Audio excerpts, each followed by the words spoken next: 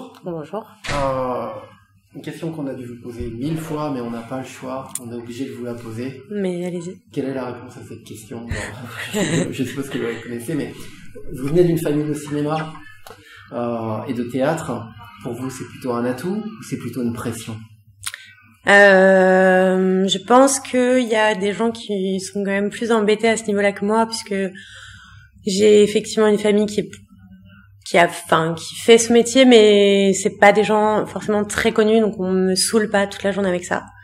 Après, je pense que c'est un atout puisque c'est une chance de grandir dans une famille où on, ben, on baigne là-dedans. Je pense que pour moi, ça a été plus qu'une plus une chance que qu'une pression quelque chose quelque chose de négatif.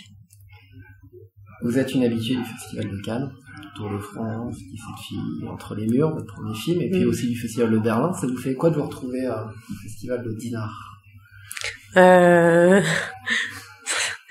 non, je, je suis pas une habituée non plus, mais euh, non, je, je connaissais pas du tout ce festival et euh, et j'adore. Je me sens super bien ici. Je suis très très heureuse d'être là. Vous avez un rapport particulier avec le cinéma britannique hein, une, quand, quand vous y alliez, vous- quand, quand on vous a annoncé que vous alliez être jury du, du court du, euh, de la sélection court métrage du festival, vous aviez des idées préconçues en tête, vous aviez des images? Non. De- à propos du cinéma britannique? Oui, Euh, non, non, non, non, pas du tout.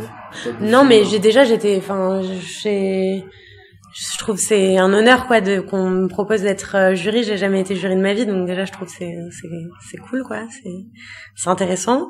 Et après le cinéma britannique en soi, j'ai pas d'idée préconçue. Il y a des films britanniques euh, que j'adore et non, en fait, ce que je trouve chouette, c'est de voir des films qui sont pas des films français parce que ça aurait été plus compliqué, je pense, de enfin voilà d'émettre un avis sur un film français que sur un film britannique. Là il y a une distance qui rend les choses plus simples je trouve. Et en plus c'est intéressant parce que là la plupart des films que j'ai vus ici enfin je parle des longs métrages en tout cas je ils, ils sortent pas forcément en France donc c'est encore plus intéressant quoi. C'est On va vous poser une question qu'on a posée à Monica Bellucci également. Est-ce qu'il y a un genre de cinéma qui, en tant que spectatrice, vous, euh, vous transporte plus que plus qu'un autre? Un genre de cinéma?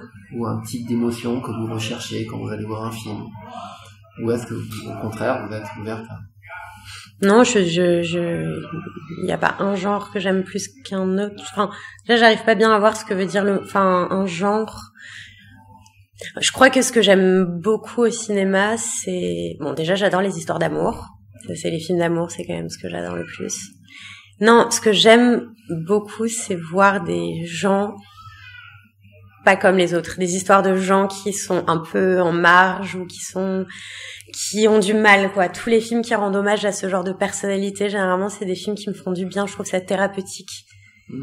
Euh, des destins brisés des- des ouais ou ouais des gens qui galèrent, des gens qui qui sont pas comme les autres.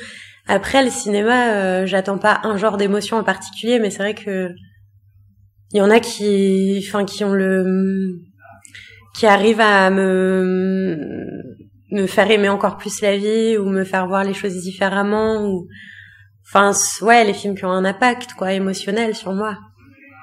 Et du coup, dans la sélection euh, court-métrage, sans parler du vainqueur, est-ce que vous avez vu des films qui vous ont justement transporté et- ah oui elle était géniale la sélection. Il y a il y a eu plein de choses très très différentes mais euh, mais justement je trouve qu'il y avait des très beaux hommages euh, à des personnages euh, des hum, des losers des freaks des gens euh, à côté quoi. Donc euh, ouais. On va parler un petit peu plus de vous, si vous le voulez bien. Euh, vous avez déjà tourné avec pas mal de gens. Est-ce que pas mal de très bons réalisateurs et de très bons acteurs aussi et actrices. Est-ce qu'il y en a quelques-uns sur qui vous prenez modèle? Est-ce que, vous pouvez nous dire un peu qui vous a appris des choses ou qui au contraire vous a impressionné? Parmi vos, les différentes rencontres que vous avez pu faire euh, jusqu'à présent Euh... Bon ben, tourner avec Gérard Depardieu, le voir travailler, c'est quand même un peu l'expérience la plus euh... la plus impressionnante hein, que j'ai que j'ai eue. C'est vrai que c'est un peu le plus grand acteur français, quoi. Donc de le voir en action et de partager un film avec lui, ça c'était fou. Mais en vrai, je dis ça parce que c'est il vous a impressionné. Parce qu'il est impressionnant et puis parce que c'est quelqu'un, enfin c'est un des acteurs que j'admire le plus, quoi. Mmh. Donc euh, voilà. Après, euh, rien que dans ce film-là, euh, Sadek, euh, j'ai appris énormément de choses aussi. C'était son premier film et enfin, je sais pas, ça veut rien dire, quoi. Mais non, après, des acteurs que j'admire le plus. une des actrices que j'admire le plus, c'est Marion Cotillard, mais j'ai jamais travaillé avec elle. Mais elle, je sais que j'attends chacun de ses films et à chaque fois que je la vois jouer, euh, je j'apprends et je suis je suis très très admirative, j'adore. Et des réalisateurs, réalisatrices avec qui vous rêvez de tourner ou avec qui vous seriez prêt à, ah, cette question elle est toujours bizarre. pas être payé pour travailler pour eux? Bah ouf. Euh, non, j'arrive jamais à répondre à cette question. J'avoue, je, il y a des, enfin si, par exemple en France, euh,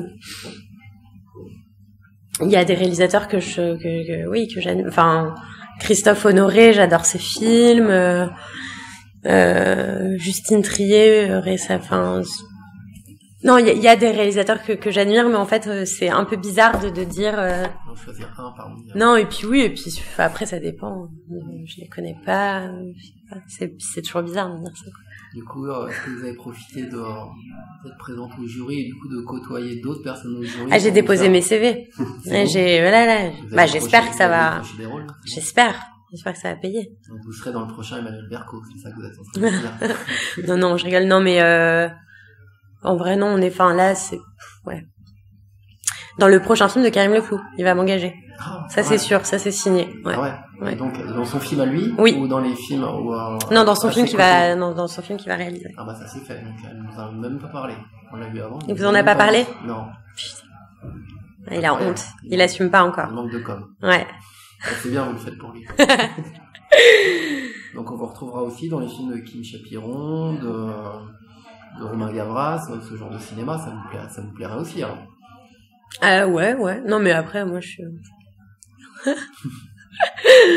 Alors, pour terminer cette interview, est-ce que vous pouvez nous dire justement dans quel film on devrait vous voir prochainement, des films sur lesquels vous avez travaillé et sur lesquels vous avez le droit de nous dire euh, le, il y a un film que j'ai que j'ai fait qui va sortir enfin normalement en France euh, cette année, qui est un film taïwanais.